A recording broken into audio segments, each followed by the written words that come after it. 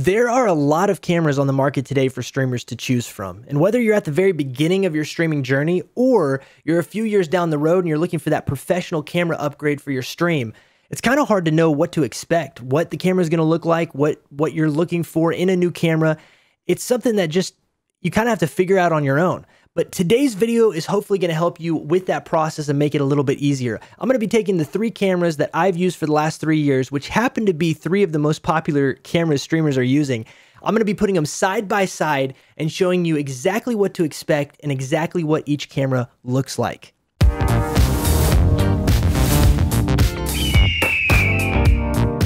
Now, before we jump into this camera comparison, I want to give you a little background on who I am. My name is Eagle Garrett, and I am a full-time partner Twitch streamer at twitch.tv slash Eagle Garrett. I'd love to see you over on the channel. Feel free to swing by, talk technology, talk about cameras or, or whatever's on your mind, or just come hang out with us. We'd love to see you over there. But I've been doing this for a little over three years now. And in the last three years, I've been able to use each one of the cameras that we're looking at today as my primary streaming camera. And so a lot of people have started kind of where I started, and that was with the Logitech C920. But today we're not going to be looking at the C920 and I'll tell you why. When I first got my Logitech C920 and I plugged it in, I noticed that the focus was off with that camera. And after tinkering with it for a while and trying to go in and adjust the focus settings and turn it to manual focus only and do all this kind of stuff, I found out through the internet that some of the Logitech C920 webcams actually had a problem with their their focus ring inside of the actual webcam unit. And my webcam was faulty. It, the, the focus was slightly out. So there was, you know, ways to try to fix it and all this kind of stuff. And after it was all said and done, I just sent it back and I decided to, instead of getting another C920, upgrade to the Logitech C922. It's not that much more expensive. I think maybe a $20 difference but it was a step up from the Logitech C920. And when I got the camera, something that I noticed is it definitely had a little bit better color accuracy and just felt a little bit, I don't know, a little bit better overall as a camera. And so I started out with the Logitech C922 as my primary webcam.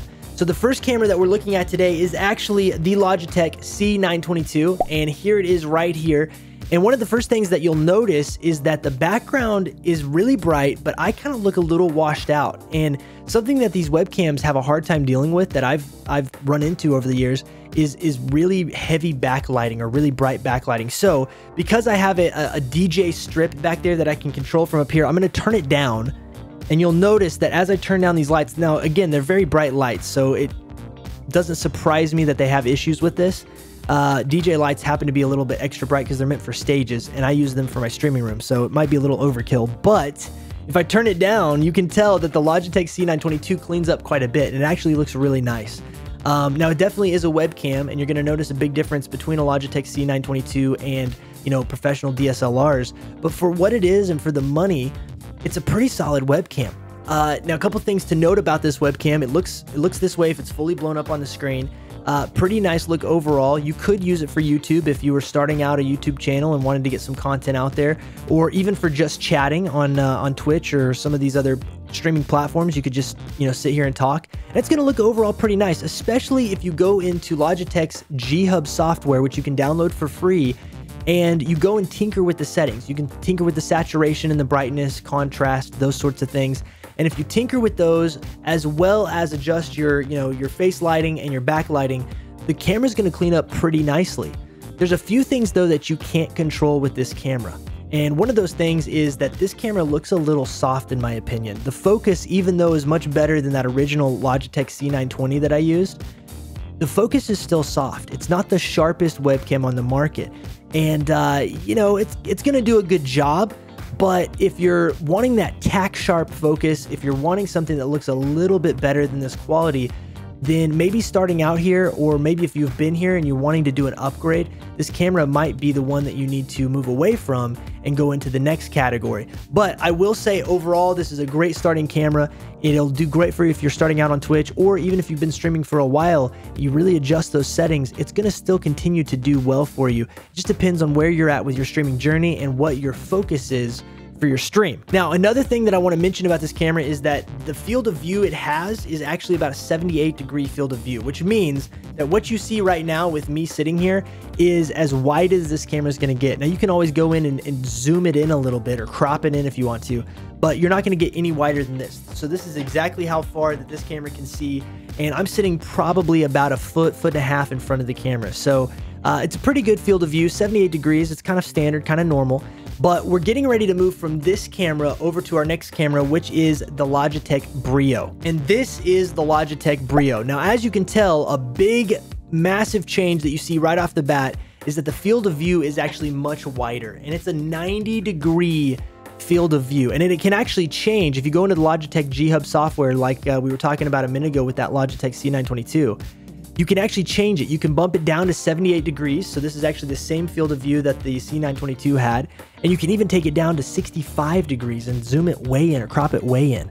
But the 90 degree field of view is really nice because it's one of the widest field of views that any webcam has on the market right now. And Logitech just came out with another camera called the Logitech StreamCam, which is supposed to be a, an upgraded version of their, their Logitech webcam software or uh, webcam devices, I guess I should say but I don't know anything about the StreamCam. I haven't I haven't used it myself. I only know what I've seen in videos or, or reviews, and it looks like a solid camera, maybe one to check out. But I do know about this Brio, and the Brio's 90 degree field of view and the fact that it's much sharper than the C922 we were just looking at makes this camera a definite upgrade to your uh, you know if you've started out with that C920 or the 922 it's it's gonna bring that quality up and as you can tell it, it looks pretty good like this is a pretty good looking webcam and I've enjoyed using this quite a bit. It was my main daily driver for a long time.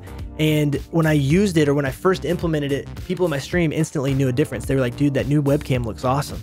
So, a couple things to note it has a better focus, it's a lot sharper.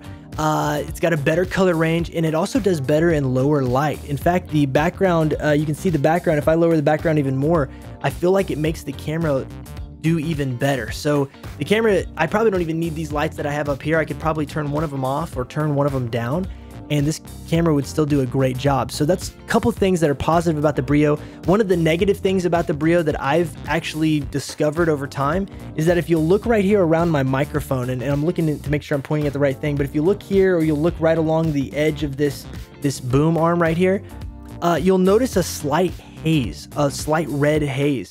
And I've tried wiping off the lens, I've tried doing everything that I know to do, but there's just a little bit of a color haze around this boom arm.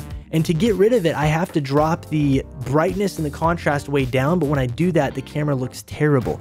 And so I have to, you know, I have to balance color and brightness with everything else. And so you do get a little bit of a haze. It's not something you're to notice when, especially when these cameras are shrunk way down to be face cams when you're playing a video game you're not to notice this kind of stuff as much. They're going to look fantastic, and it's actually going to be really hard to tell the difference between the Brio and the 922 when it's shrunk way down. But there are some things like that that you need to take into account, especially if you're looking at doing like, you know, some YouTube work. Although this is going to be a great camera and an upgrade from that 922, it's still not going to be as crystal clear as you might want. And so if you're sitting at a 922, this is a great stepping stone upgrade. But if you're looking for that next level and you're saying, you know what, I want to step out of the webcam game and I want to step into the DSLR game, then our next camera is probably going to be the camera for you. And that is the Sony a6400. And this is the Sony a6400. This is actually the camera that we started this video on. And I've been doing all of my YouTube videos on this camera. But this is a full-fledged DSLR camera, which means it has interchangeable lenses. It's got fully featured uh, camera and video options. And on top of that, it's got a flip up screen in the back that you can flip all the way up and see yourself in the screen. So I don't even have to, when I'm looking at this camera, if I want to see where I'm at in the frame, I can actually just look right above the lens and see myself. And you know, it gives me all the information for the camera, including the focus box, which we're going to talk about here in just a minute. But it's a really, really nice camera. One thing that you need to take into consideration if you're looking to go from a webcam to a DSLR is that it's not as easy as just buying the camera and plugging it in and you're ready to go. Webcams, they're plug and play. With those last two cameras we looked at, you plug them into your computer and they pick up in your OBS software and boom, you're you're set to go. You adjust the settings, you adjust the colors and you're ready. With a DSLR, there are actually a, a, few different components you need to buy, and so they can be quite expensive to get into originally but they'll definitely be worth it when we start talking about the features that you're getting when you upgrade to a camera that's high quality. So what are some of these things that you're gonna have to buy? What are some of the components that you're gonna have to consider in the price when you're going to a DSLR? One of the big ones is that you need a stand or some kind of arm or or or something to hold the camera because it's not gonna mount on top of your monitor the way webcams do. Webcams just kind of sit right up there. But with a DSLR, you need a, a stand to actually put it on. I'm gonna have a link down in the description for all the stuff we're talking about today, including the arm that I use for this Sony a6400. And the arm is actually a really, really cool clamp style arm, and it will adjust to almost any configuration to hold this camera in place around your monitors or around your rig setup. So I'm gonna put that down in the description of this channel along with all the components we're talking about today but you need to take that in consideration first. The other thing you're to need to think about is, of course, a lens for the camera, because unless you get a lens for the camera, it's not to do anything for you. You also need an AC power supply to power the camera, and you're gonna need a mini HDMI to HDMI cord to plug into your computer. But that also leaves us with an Elgato Cam Link so that your computer can recognize this DSLR as a webcam so that OBS can pick up the picture. So right there, you're looking at like like three or four, maybe five different components total that you're gonna need to step into a DSLR camera.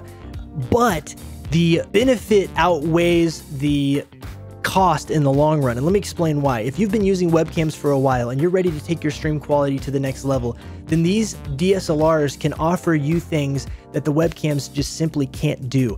And some of those things are things like focus. This camera has one of the best autofocus systems on the market. Now, there are other cameras that you can use that are not as expensive as the Sony a6400. You can get cheaper versions, you can get more expensive versions if you want to. But one of the reasons why I went with the Sony a6400 is the autofocus system.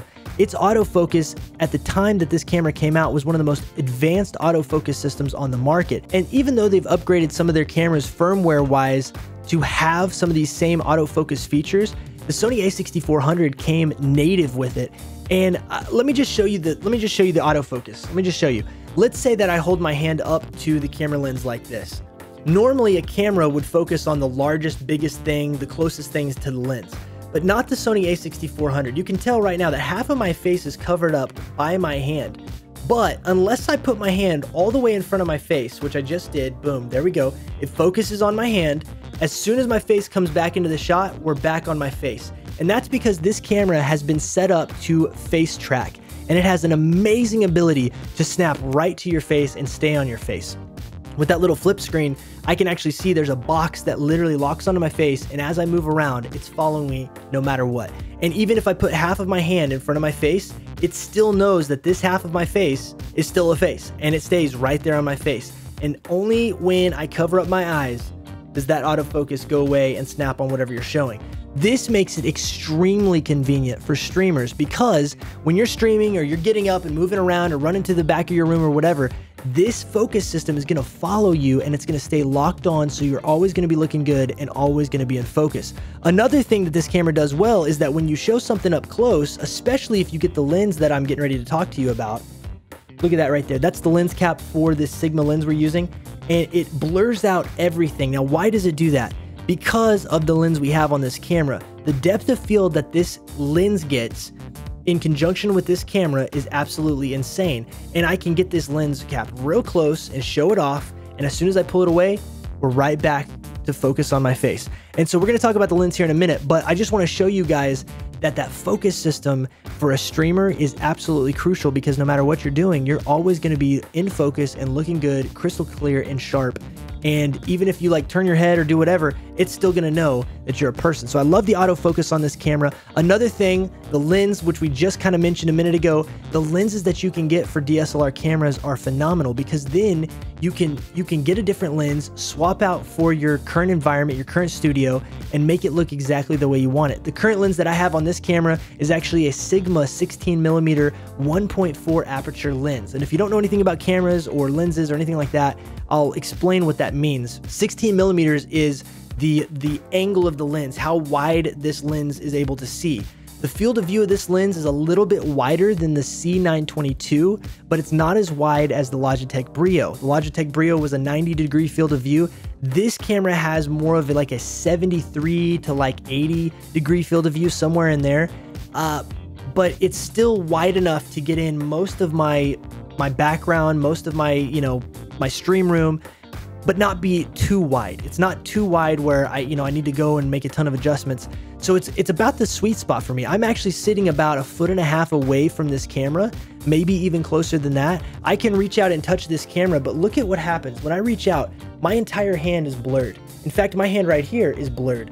I'm in focus. If I was to switch and put my hand in front of this, let it focus, look how blurry I am.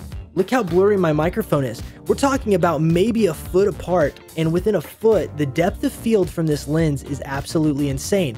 So this is gonna give you that cinematic, really creamy background, the bokeh in the background. It's gonna give you that cinematic look that people desire without having to have a bunch of extra lights. This lens, because it's got that 1.4 aperture, which is how much light the lens can take in, not only affects the depth of field or, you know, how shallow the depth of field is, the fact that if my hand's up here, I'm blurred out completely. Boom, there we go. It's not just that, it's also how much light can come into the camera. So the lens that I got for this camera was absolutely perfect for streaming because then with a room that's kind of dark, I've got a backlight and I've got one face light and a, a light that's bouncing off the wall. That's all I need.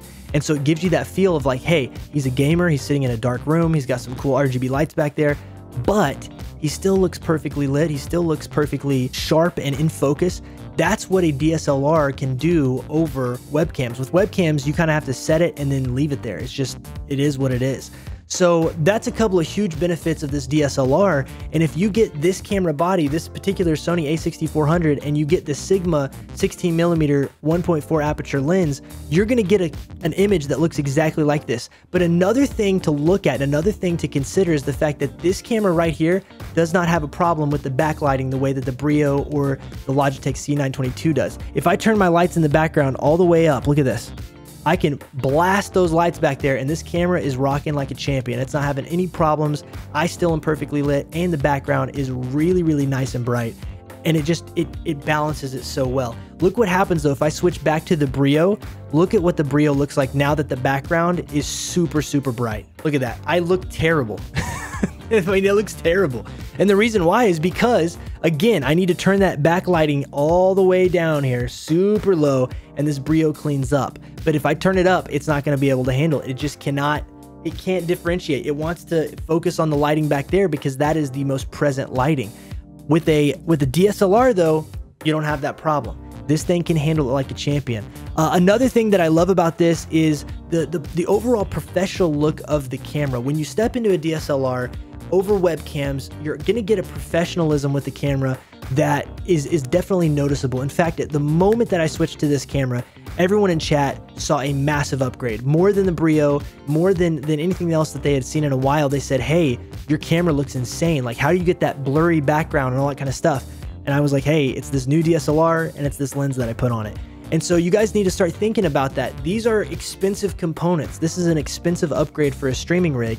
But if you're at that place where you're really looking for that next upgrade to take your stream game to the next level and you're kind of saying, "Hey, I've I've upgraded everything else and and I you know, I kind of want to step out of the webcam area, get into DSLRs." This is a great one to go with. This is not the most expensive camera out there. You can actually get more expensive cameras with more expensive lenses and they are going to look insanely awesome but there's only so much quality that you can retain when you're streaming to a platform with a capped bit rate or when you're streaming in general just because of your data output and things like that. So you really need kind of you kind of need to think about the return on your investment. Are you getting a diminishing return by spending thousands of dollars on a camera when you could spend, you know, $1200 on a camera setup and get a fully fledged professional looking stream. In my opinion, you don't really need much more than this right now for being a streamer. Now, if you're going to do YouTube content creation and you're looking for some really cinematic stuff to record in 4K and you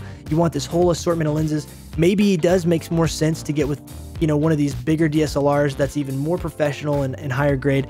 But this honestly, the Sony a6400 is going to be able to do all of that and more. It's got great pictures. It's got great 4K video if you use a, a, a, memory card. And in fact, this whole entire video is being recorded through OBS and through this camera and the other two cameras. I'm not using an SD card in this camera at all. It's all through OBS, all in 1080p, high definition. And uh, it's just the way this lens and this camera looks. When you stream, if you have this rig, this is how it's gonna look for you. Now, a couple things to note, guys. Whether you're looking at DSLRs in general or you're looking at this Sony a6400 particularly, you're going to need to find a camera with a clean HDMI out. And what that means is that the signal from the camera that goes to the Elgato Cam Link and into your OBS needs to not have all of the little menus around the screen of your camera. Whenever you get a, a, digital camera, you know how it's got like the picture profiles and you can adjust the, the, the exposure levels and things like that. And it's got all these little meters. You need a clean HDMI out because you don't want all that on the camera whenever it's running into OBS. So whatever camera you look at, make sure it's got a clean HDMI out. With this camera, you will need an AC power adapter and a mini HDMI to full HDMI cord in order to plug that into your computer and keep the camera running for long periods of time.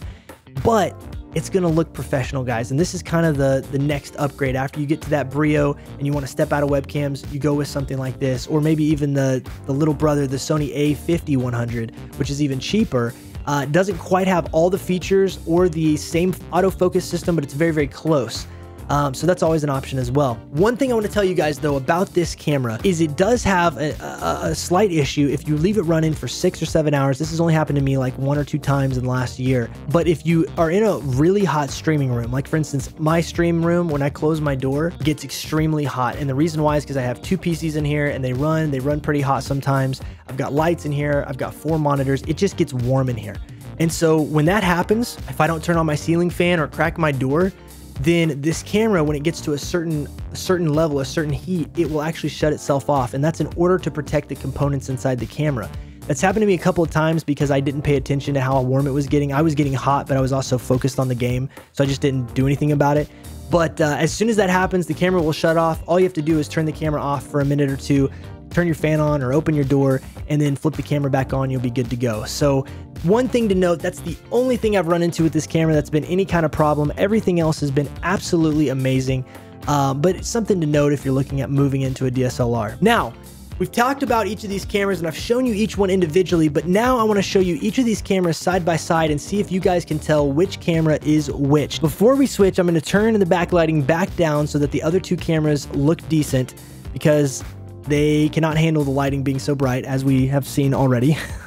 We're gonna turn that backlighting down and then I'm gonna go to a scene right here where you can see all three cameras. So here we are, all three cameras. And before I tell you which one is which, I want you guys to take a second, pause the video right now and tell me in the comments below which camera you think is which. Okay, so you've taken your guesses, and now it is time for the big reveal. The top left hand is the Logitech C922, the top right hand is the Logitech Brio, and the bottom left hand is, of course, the Sony a6400. So with this being said, you can see the quality of each one, get a good look at what to expect, how crisp each of these cameras are. And uh, and here's the side-by-side -side comparison. One thing that you will probably want to note is that these are all shrunk down to a fourth of the size they normally are. If you look at all three of these cameras, you'll notice that uh, when they're shrunk down, they actually look even clearer. They actually look even better. In fact, I'm looking over here right now and they're all pretty close. In fact, the Brio looks fantastic, especially shrunk down to this level. Brio's looking really good. The the of course the A6400 looks fantastic, but you'll notice that the background of the Brio is not blurred out and the A6400 is blurred, right? It's blurred. It's got a nice creamy background to it and uh, even creamier if we bump up the the lighting background. So something to consider there. Of course, the uh, the C922, it's uh, you know, the same thing as the Brio, except for it doesn't have as good of a color spectrum. that the colors aren't as natural, and uh, it, it still doesn't feel as sharp to me. The focus doesn't feel quite as sharp on the, the C922. So um, anyway, with that being said, you guys, here's the side-by-side -side comparison. Hopefully you guys, um, you know, like this, and hopefully this is helpful to you to see kind of the progression, right? You start out with the with the the normal C920 or C922, you go to the Brio over here, and then you move up to the Sony a6400 as kind of the the DSLR professional grade looking camera. And it's not necessary, guys, either. I want you to know this. With all three of these cameras, you don't have to upgrade. If you've got a webcam of any kind, or let's say you get this Logitech C920 and you're happy with the way it looks, you're happy that it works for your stream, and you're usually down in a face cam anyway, you're not always doing big, you know, full screen type of video content, you don't need to get these other two cameras. You, you, you don't have to. Um, it's really what works best for you. They're not required, but if you're doing it and you're doing it full time or you're doing it and you're taking it super serious and you really want to take it to the next level, then going to a DSLR is not a bad option. It's actually a great option. And if you are making YouTube content, that's the other big reason why I got this camera is I was like, I'm to make YouTube videos for everybody talking about streaming stuff. So I thought, you know what? For YouTube, I'm to go ahead and step up and get that bigger quality, uh, better quality camera and uh, just have a little bit more options. Plus, you can go out and vlog with it and things like that. So that's another reason why I stepped up to the DSLR. The Brio was working just fine for me when I when I was streaming with the Brio, and it wasn't until I decided to start up the YouTube channel and, and start making content for you guys on YouTube that I decided to come to this camera right here. And so, uh, anyway, hopefully this has been helpful, and this side-by-side -side comparison gives you a better perspective on which camera you should be picking up as your next streaming camera. So with that being said, hopefully you've enjoyed this video and it's been helpful to you guys. If you like this video, smash that like button to help get this video out to as many people as possible. If you like this channel, smash the subscribe button. And if you want to see when these videos come out, smash that notification bell to be one of the first to know when a video is live. And again, I am live on Twitch at twitch.tv slash eaglegarrett almost every day. So you can come check us out over there. We'd love to have you in our community. Drop that follow, join the flock, and let me know what's on your mind or, or what kind of thoughts you have on your own streaming equipment.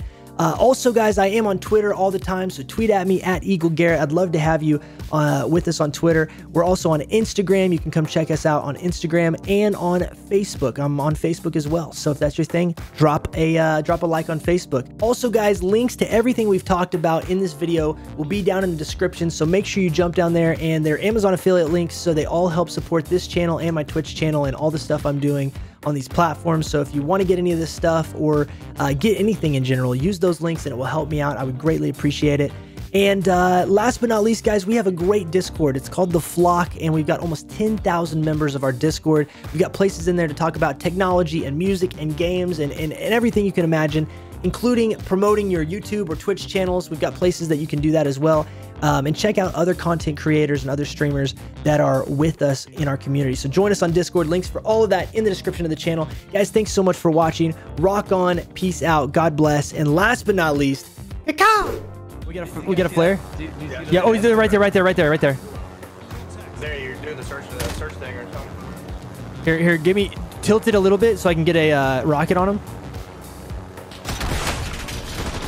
Get him, boys. Got him. He's down. He's down. I rocketed him from a helicopter, bro. Somebody clip it. Okay. Ready, hop out, hop out. Hop out, guys. I'm out. I'm out.